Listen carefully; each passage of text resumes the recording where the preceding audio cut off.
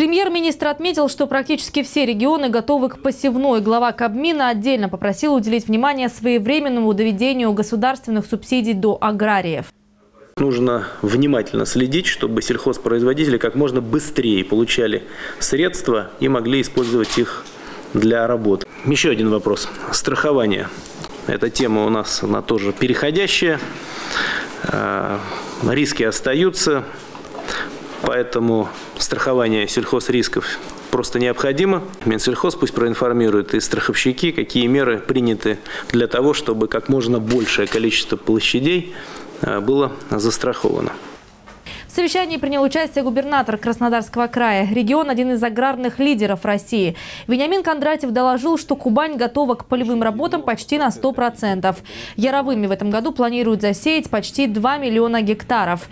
А зимой занимают больше полутора миллионов гектаров полей перезимовка прошла успешно, 80% озимых в хорошем состоянии. И здесь, конечно, ради объективности надо отметить, что 3,5 э, тысячи гектаров, э, конечно, погибли, но это не критично, потому что практически все они уже где-то подсеяны, где-то перезасеяны. И горюче-смазочными материалами, и э, средствами защиты растений, и семенами на данный момент времени и на полностью период проведения весенне-полевых работ наши как бы, аграрии обеспечены полностью. Сейчас на Кубани готовятся к севу кукурузы, подсолнечника, сои и риса. Он начнется в апреле, если не испортится погода.